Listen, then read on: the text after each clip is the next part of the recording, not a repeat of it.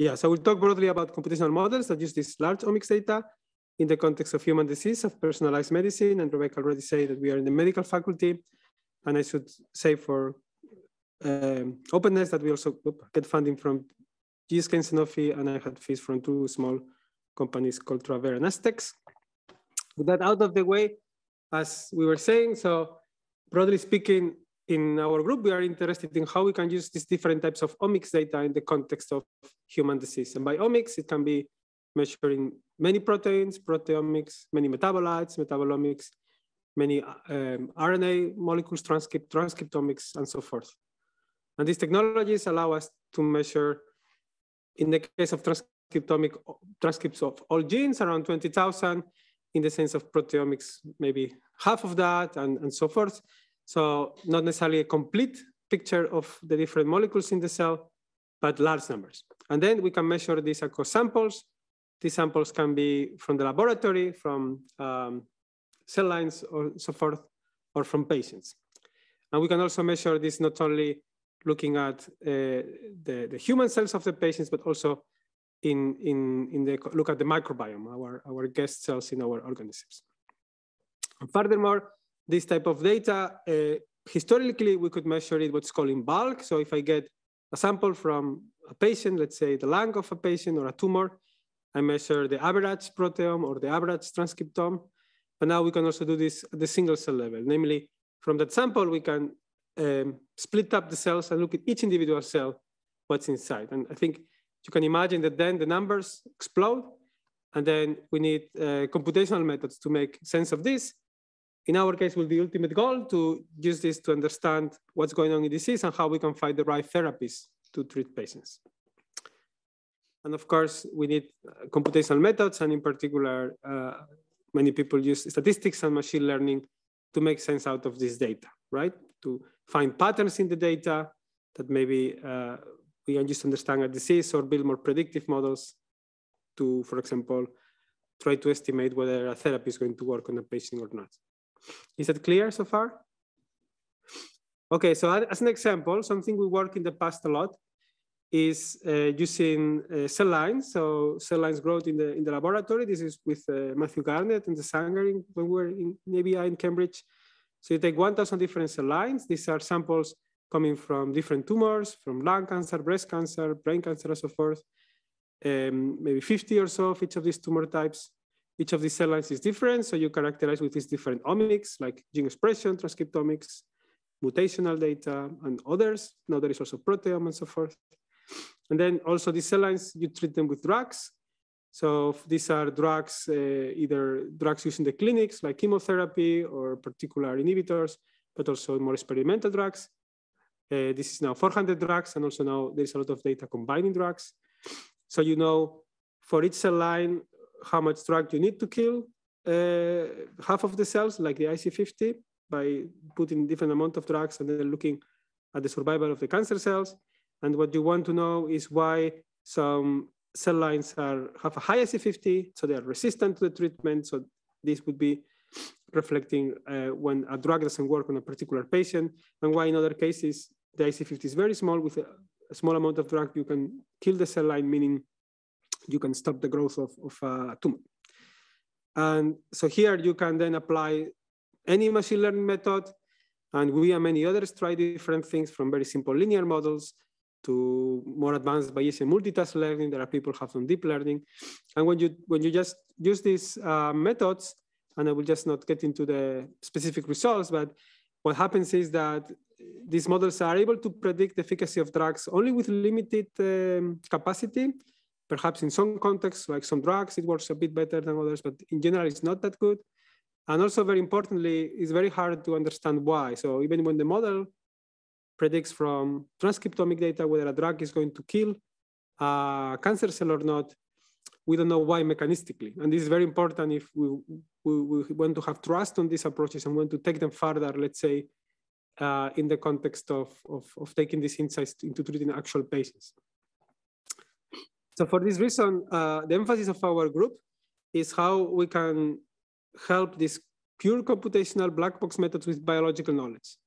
So there is a lot of things we know about these processes that happens in the cell, uh, like we know different pathways, different networks, and, and how they work. So how we can use it uh, to help uh, the machine learning. Um, and, and, the idea, as I will show you, is out of these large thousands of genes, we can extract uh, a smaller number of features. And these features, uh, because they're fewer, uh, increase the statistical power of our methods. So less input features, more power.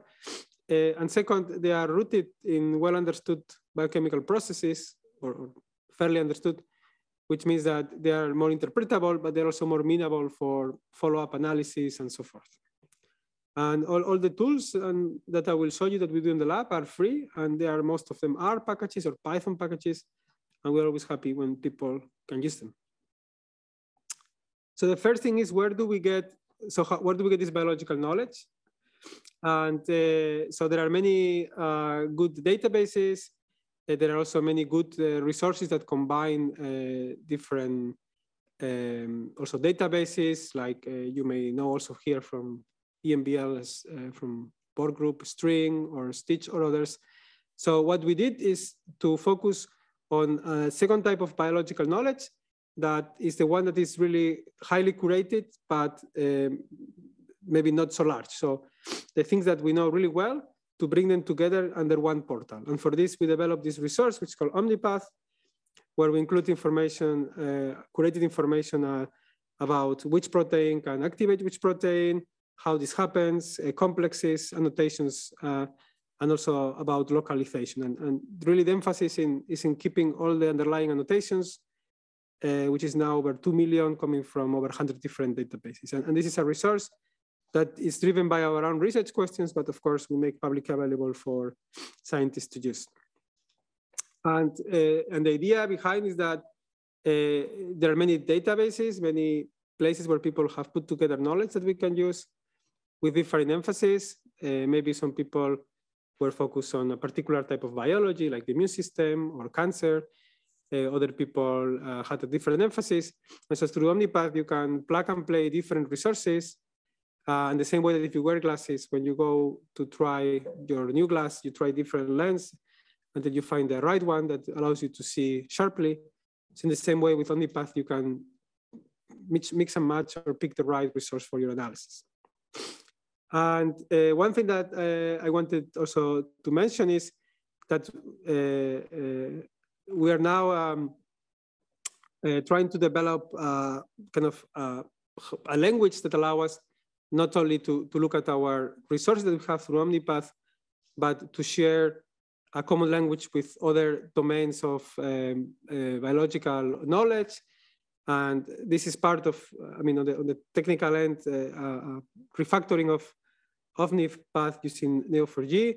But what we hope it will allow us is that, uh, for example, there are great meta resources on, on the chemoinformatics world or or on the role of, of mutation of variants in, in disease, or Indra is a resource that does actually text mining.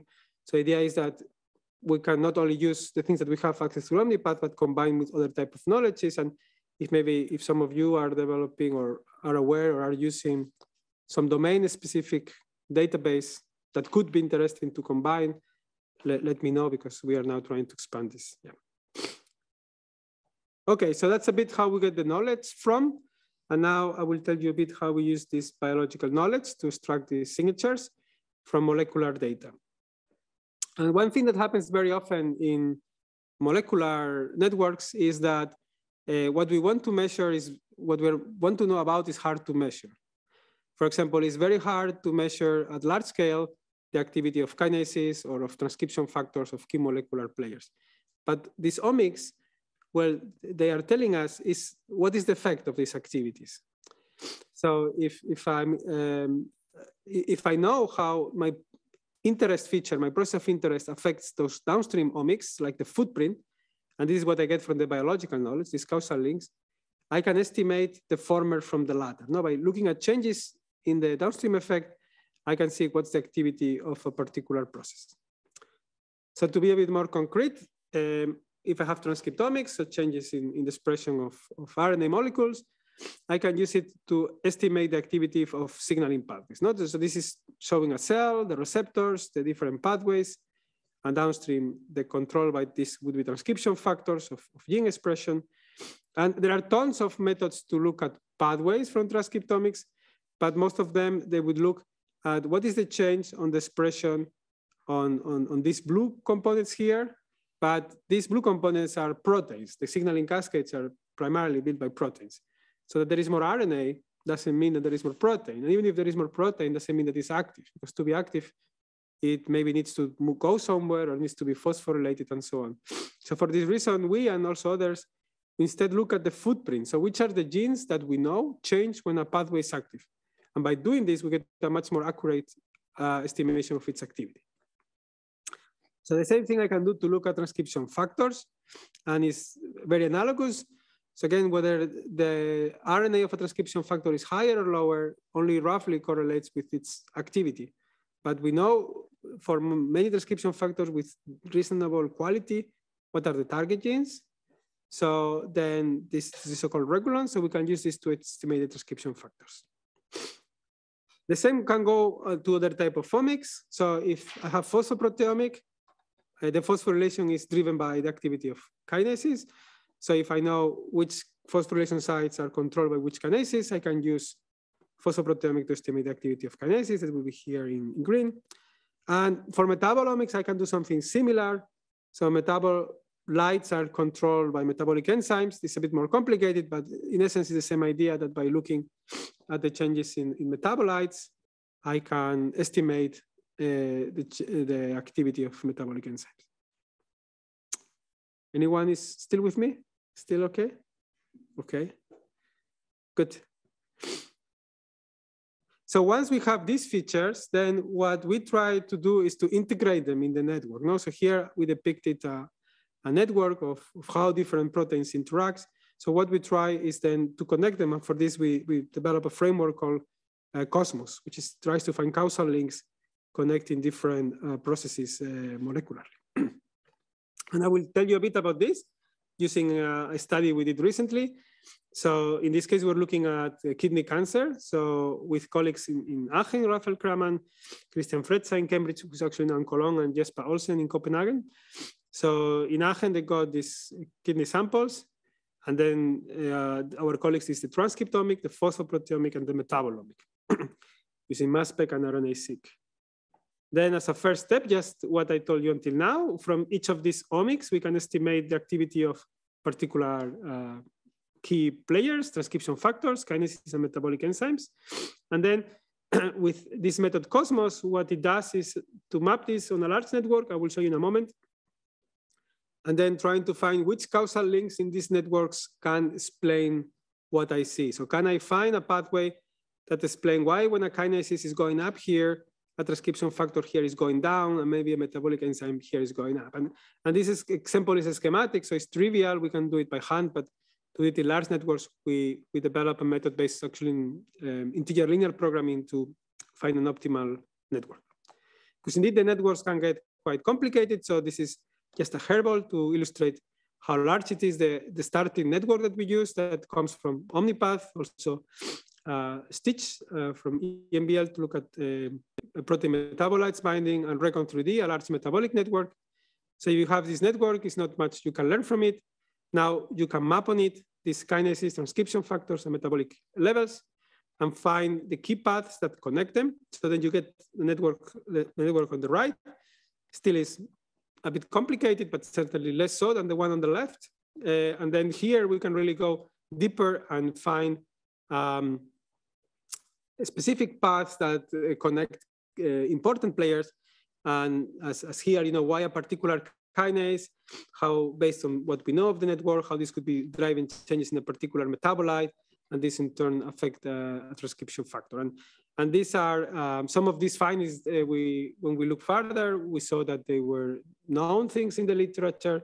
Some others are new hypotheses. And one thing that I want to emphasize is all these methods are really hypothesis generation tools that you should follow up. So in making this analysis and these models, we are also doing assumptions. We know the data is not perfect. We know the networks are not perfect.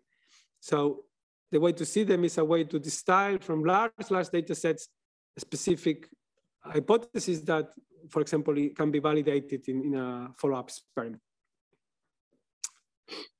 But just to summarize this part, so uh, I try to explain you how we use the omics data as an indirect uh, measurement, as a footprint of key molecular processes. Uh, and then later how we can bring them together into large networks using these Cosmos methods to find uh, mechanisms and, and, potential causal paths uh, connecting processes across signaling, gene regulation, and metabolism. Okay, so far so good.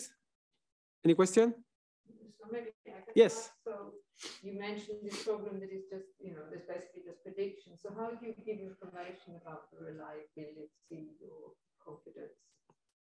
Of the, for example, of interactions or yeah. of the data.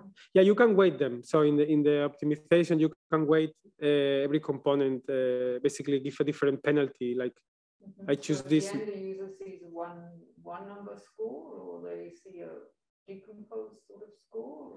Or how do you tell the user that? So you you would uh, at the end uh, summarize into one score that you try to optimize to find the model, and in this score uh, you include how well you explain the different data, but also some uh, Occam's razor, some parsimony to have simpler models, um, and and then that's what you use. But what also happens is that there is typically many solutions that can be equally good according to your metric. And then of course you should report them all and say, okay, it could go this way or that way. And in both cases, I could explain the data. Yeah. If you have an equation that pulls up all the downstream interaction, can you define this different path that is activated or? Sorry, I understand well the question. Could you repeat? Yeah. I was going to say it too. Yeah, so, yeah, good point.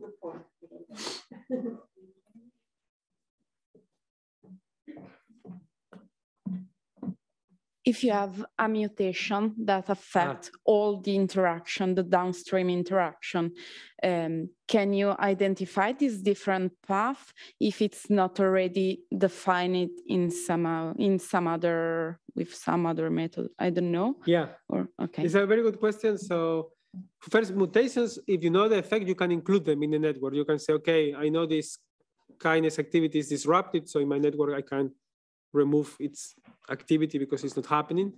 Uh, if you don't know it, uh, you can try to, I mean, we haven't done this really, but I think, yes, you could try to um, identify effects. Uh, also because one thing that these methods often allow you to see is data that you cannot explain. So if you would see, you know, this, this doesn't make sense, then it could also point you that there is something strange going on, like a mutation is changing something. So we didn't do this systematically, but I, I think such a framework can allow you to contextualize the effect of mutations, but also uh, estimate what could be the effect of a mutation given that you see something different to what you would expect. Okay, great. Um,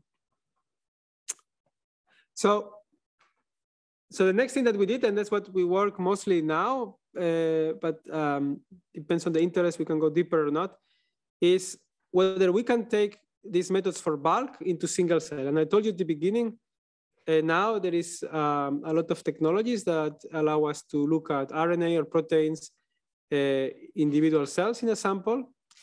And uh, the, the, first thing that, that we ask ourselves is if, if we can use these footprint methods in the context of single cell, because what happens when you measure single cells is that you don't get so many measurements. So if you do transcriptomics in bulk, you get 20,000 genes measured.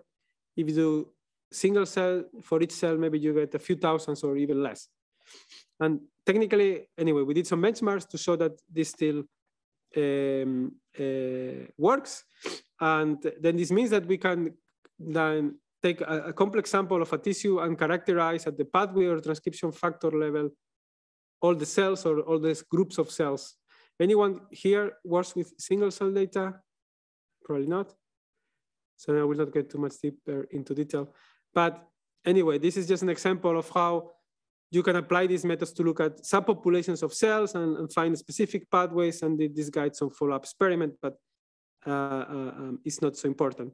But one thing that uh, is quite in interesting for us uh, is that when um, first, I mean, when you have single cell, you can look at subgroups of cells, so-called cell types. So imagine if you measure a sample from, from a tissue of, of a patient, you, you will see there is um, maybe if it's skin, uh, some epithelial cells, you also will have immune cells, you have many different types of cells.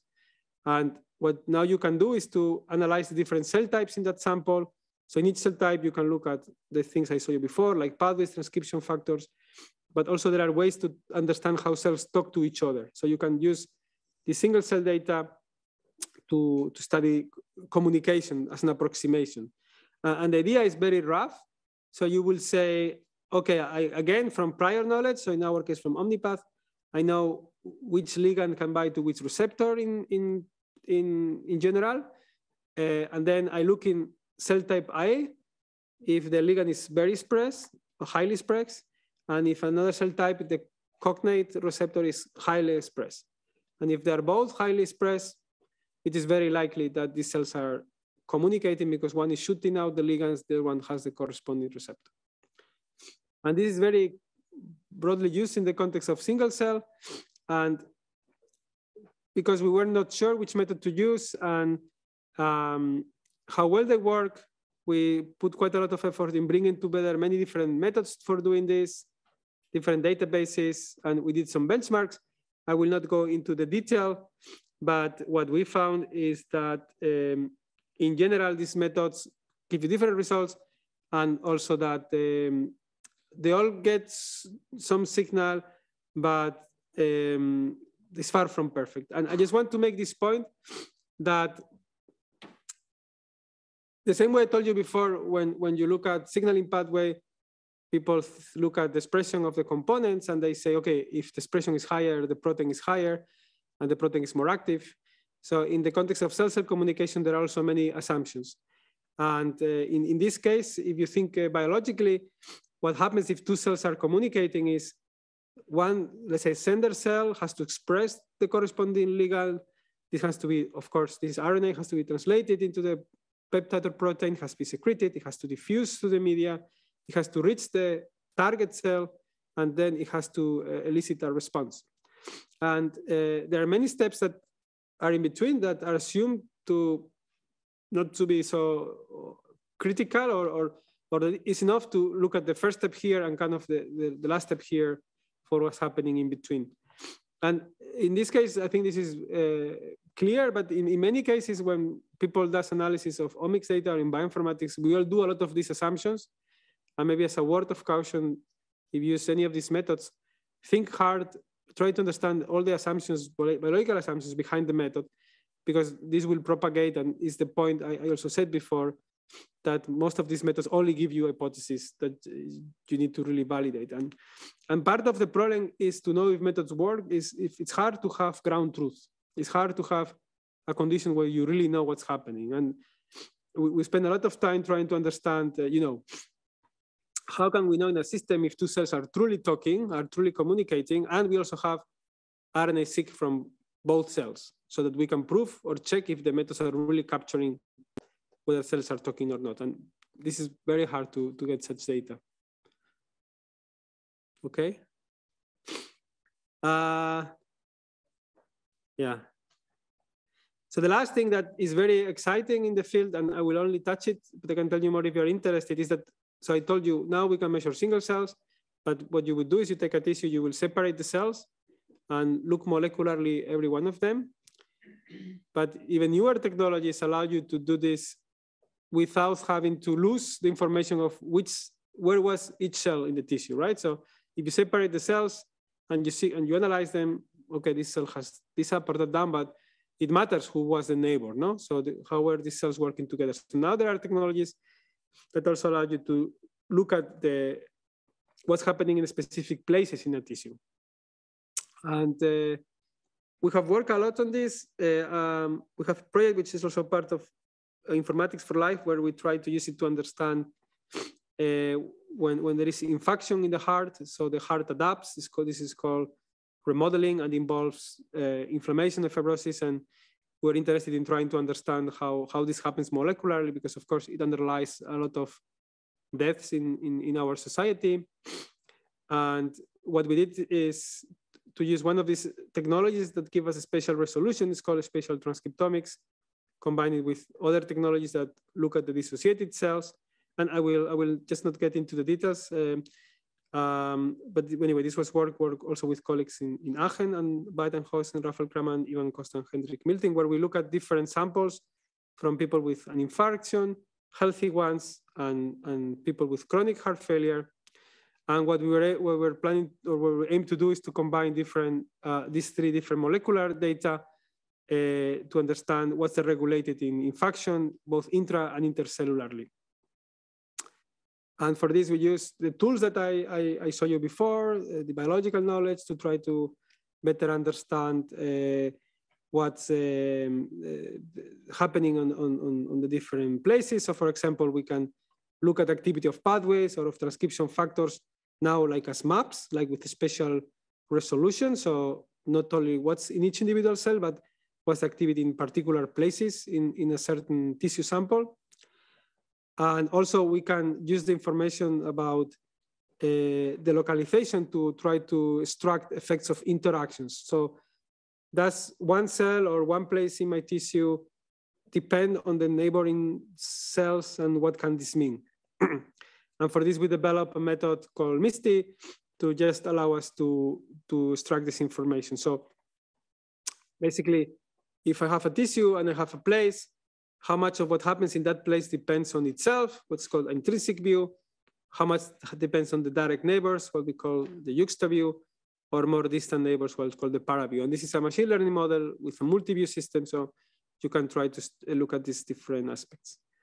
So this part I'm going fast because since none of you works on single cell or transcriptomic data, just to give you a, a flavor of uh, what can be done. Uh, but now I, I, want to go back to in the last part to to the question of, of, of uh, comput computational models to predict um, drug response. And in my beginning of the talk, I told you how we there is these large data sets where where you have um, um, omics data on one side and drug response in the other, and you can throw machine learning methods in between and try to predict drug response. And I told you that uh, our idea is that by using biological knowledge and all these features that I saw you before, we can help the algorithm.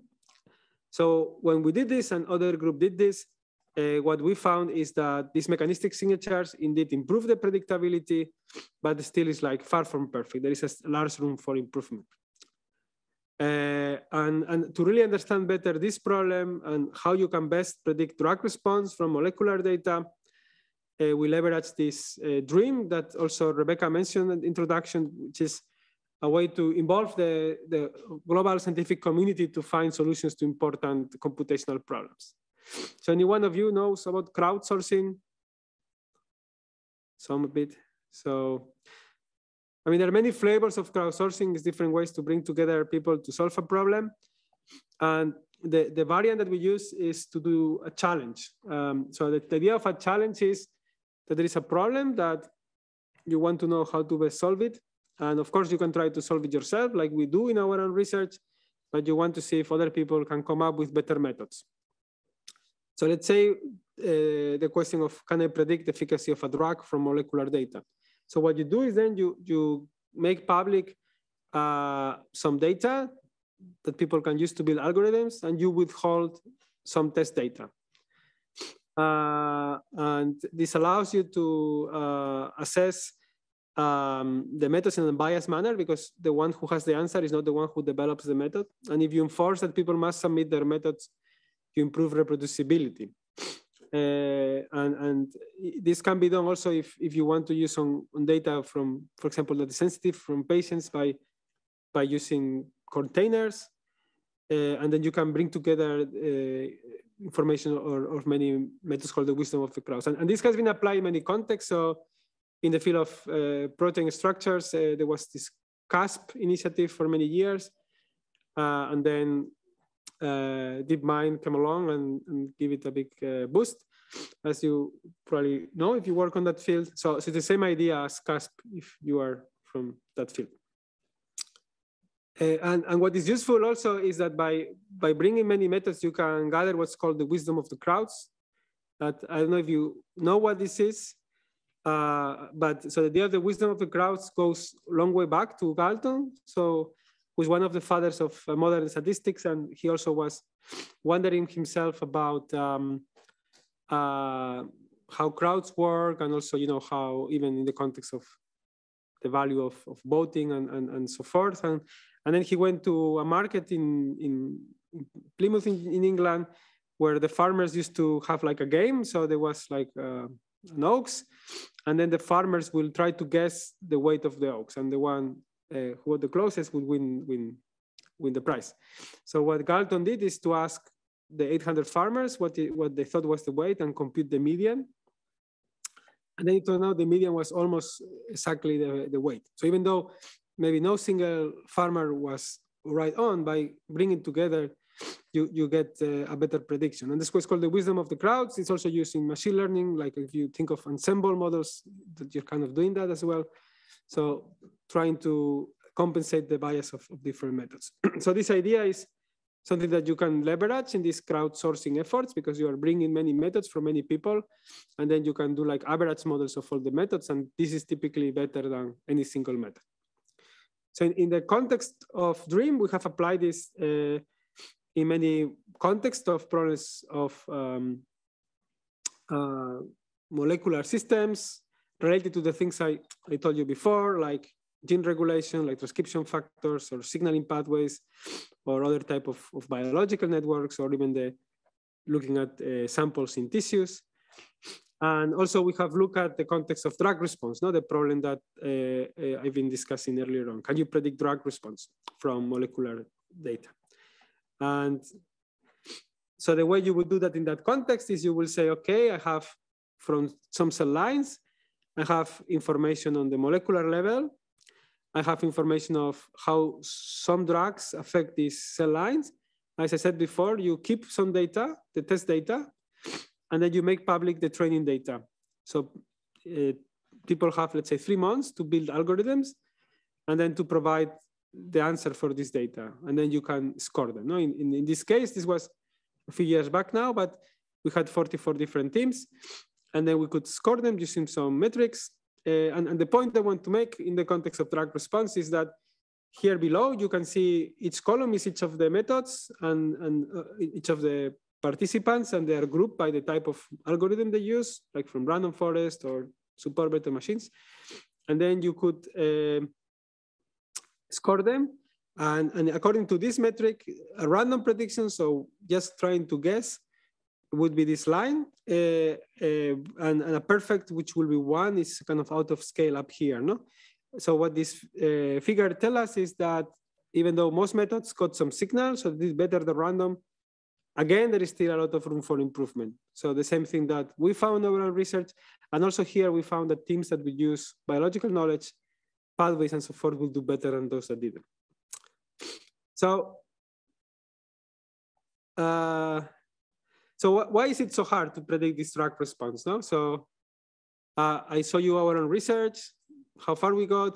Then we also tried to ask the community how to solve this problem.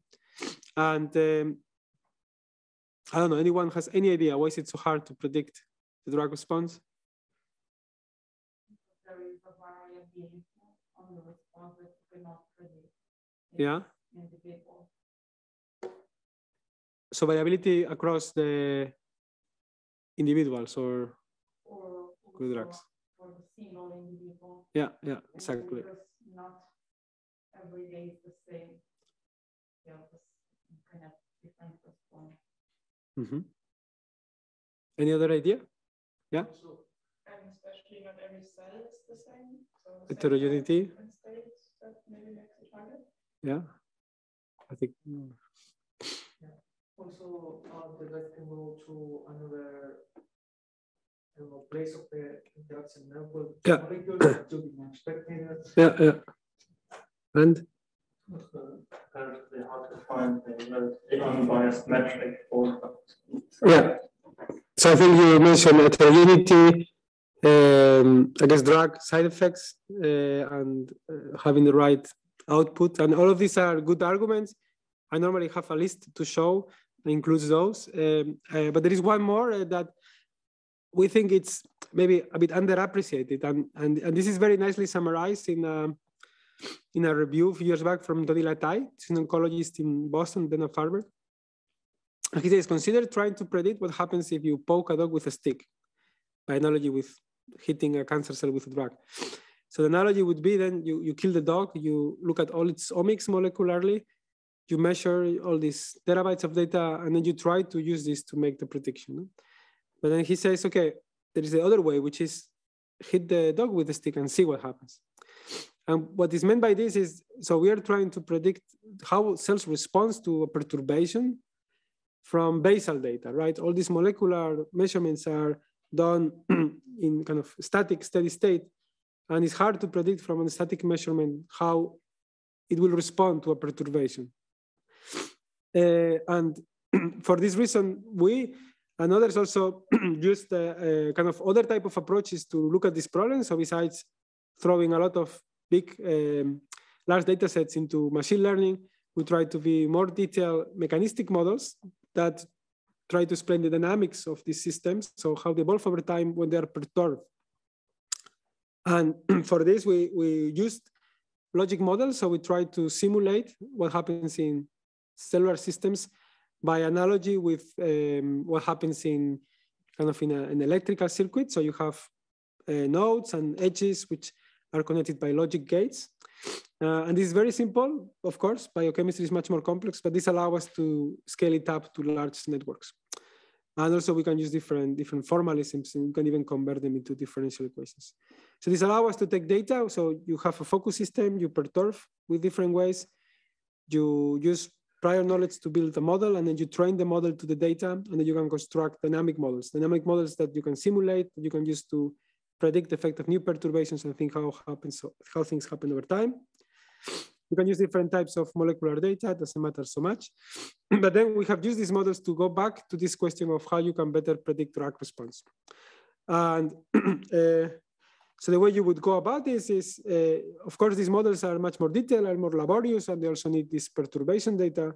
So you cannot do them for all potential drugs and cell lines, but you can go deeper and, and in, in particular cases where you are really bad in predicting in a pure machine learning manner, you can try to go deeper, do dedicated experiments with perturbations, with drugs and extracellular ligands across different cell lines and measure, if you can, the activity of proteins with phosphoproteomics. And then by doing this for each of the cell lines, you can train a genetic network of, of the cell to data of each of the cell lines, and at the end build cell line specific models. And we have done this in the past in, in, in different contexts, and we have shown that these models allow us to, to, to better predict um, the drug response and to really identify mechanisms that you will not find by purely looking at, um, at, at, the basal data. so if I don't lose my voice in the next five minutes, uh, I will just show you the, the latest things we are doing around this, which is, it goes about the question of how we can translate these ideas of models to patients. and the, the reason is that this type of experiments, like the ones I saw you here, are laborious and you need a lot of material because you need to take cells in different conditions, perturb and measure. So this you can do in the laboratory, but uh, at the end of the day, what you want to model and what you want to predict is if a drug is going to work on a patient. And in patients, it's much harder, of course, to get material. So one context where this is still possible is if you look at blood, because blood, you can get more amount. So for example, in, in a study we did recently, we look at multiple sclerosis patients, the blood, we can study the immune cells. And it's always this idea of taking the sample, perturbed with ligands and drugs, uh, in our case, around 150 donors, build for each donor a model, and use these models to simulate and to predict potential combination therapies. And just to give you an example, so this is what such a model looks like. So you have all these kinases and proteins covering different aspects of biology. And using this model, we come up with a combination therapy. So two drugs that together were more effective. Uh, and then going back to a mouse model, we could validate this. this is just to show that the validation work. Uh, but if you don't look at the blood, if you look at solid tissues, is you don't get so much material. So for this, what we did is to work together with uh, Christoph Merten, who was at EMBL, he's now at EPFL in Lausanne, and the clinicians in Aachen, Thorsten Cramer and Ulf Neumann, to use microfluidics to do mini experiments. So the idea is that you encapsulate in a very small droplet a few cells with a drug and a barcode. So you want to know what you put in each of these little droplets. So it's like mini experiments. And because they're so small, you need first very small amount of material per experiment. And second, you, you, you can automatize it, no? With microfluidics and robots, this is done su super fast and uh, relatively easily.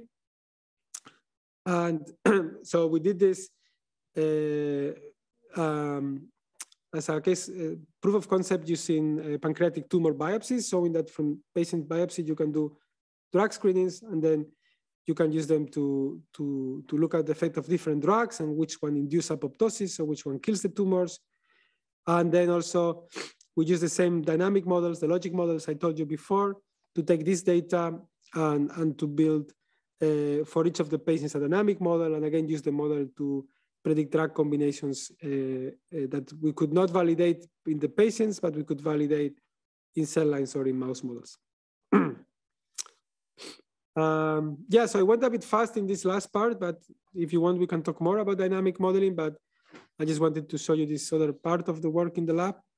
And first, uh, uh, thank the, the people uh, in, in our lab. So uh, from what I saw you, this Omnipath, this all knowledge is mostly driven by Dénes Türei. Uh, Aurélien did this multi-omic integration with Cosmos. Martin did the example in the multiple sclerosis. Federica, the one, the last ones with the microfluidics. And Jovan and Ricardo do a lot of the spatial work. Uh, we have a lot of great collaborators. I mentioned them along the way. Um, and our funders, we are always looking for talented students and postdocs. If you like this type of things, or you have friends who are looking for positions, and I'll just in the last minute I'll try to summarize. But uh, uh, I hope I, I, I managed to, to to explain you today.